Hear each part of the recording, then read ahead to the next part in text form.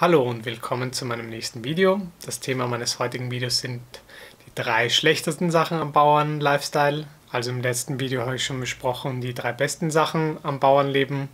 Heute gehe ich mal ein bisschen auf die negativen Sachen ein. Also es ist nicht immer alles Gold, was glänzt. Das erste Negative am Bauern-Lifestyle ist ähm, die dauernde, ich will nicht sagen Bewegung, aber die dauernde Anstrengung.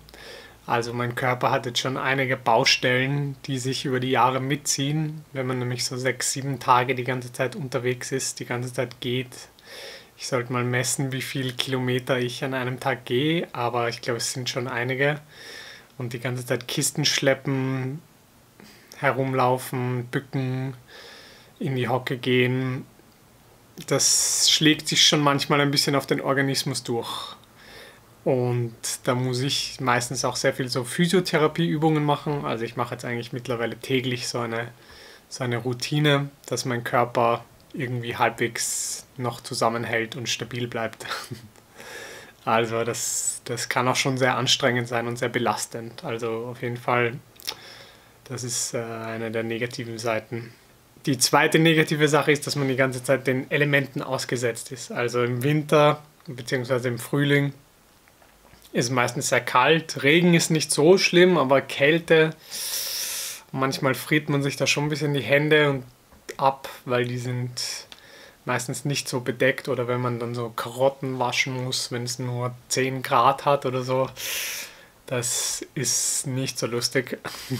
Und dann kommt der Sommer, beziehungsweise auch schon im Frühling und dann knallt teilweise einfach die Sonne runter. Also ich habe mittlerweile eher weniger Sonnenbrände, aber am Anfang habe ich wirklich oft Sonnenbrand gekriegt, weil ich mich einfach nicht, äh, nicht geschützt habe. Also einschmieren hilft teilweise gar nicht so sehr. Es ist mehr, man muss sich wirklich dann, also man muss sich dann wirklich äh, komplett so vermummen und meistens auch versuchen, wenn es geht, nicht in die pralle Mittagssonne zu gehen, aber das ist oft leichter gesagt als getan es ist auch immer wieder ganz lustig. Um mich herum arbeiten auch einige andere Leute und es ist sehr schön zu sehen, wie wir am Anfang des Jahres alle ziemlich weiß sind oder ziemlich hell. Und dann am Ende des Jahres haben, sind wir alle ziemlich braun und haben alle so. Und wir haben alle so Bräunungsstreifen überall, weil wir eben nur das T-Shirt tragen und dann halt da braun sind und darunter. Es sieht immer ganz witzig aus. Aber ja, sehr viel Sonne, sehr viel Wind, sehr viel Regen, sehr viel Kälte. Also man ist die ganze Zeit draußen und man kriegt es meistens voll ab. Und man ist sehr wettersensibel. Es hat seine, es ist positiv und negativ liegt oft sehr nah beieinander. Und das dritte und auch eins der negativsten Sachen am Bauernleben ist das Sozialleben. Ja, also für alle, die mich kennen, die sehen mich mehr auf Videos oder auf irgendwelchen blöden Fotos oder auf irgendwelchen Instagram Stories, als sie mich in echten Leben sehen. Einfach weil man die ganze Zeit beschäftigt ist. Also wenn man so sechs bis sieben Tage arbeitet und meistens den ganzen Tag draußen, dann ist man total müde.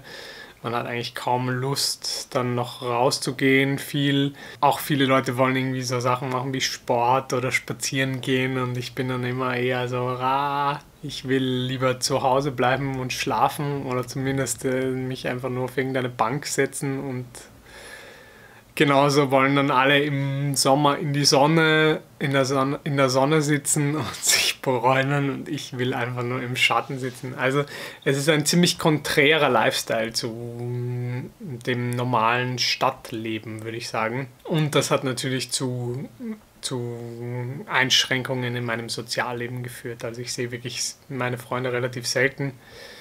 Und wenn ich sie sehe, bin ich meistens müde und der Erste, der nach Hause geht. Aber so ist es halt. Man kann mich natürlich auch ab und zu am Feld besuchen, aber das Feld ist meistens recht weit draußen und da kommen dann eher weniger Leute. Also es ist generell also es ist generell kein Beruf, der ähm, top für das Sozialleben ist, wobei ich sagen muss, dass ich halt doch sehr viele Leute immer wieder sehe, wenn ich ihnen Gemüse bringe oder wenn ich sie beliefere oder wenn so irgendwie so eine Interaktion stattfindet. Also die einfachste Art, mich zu sehen, ist bei mir Gemüse zu kaufen. Ja, das sind auf jeden Fall ein paar negative Dinge am Bauernleben.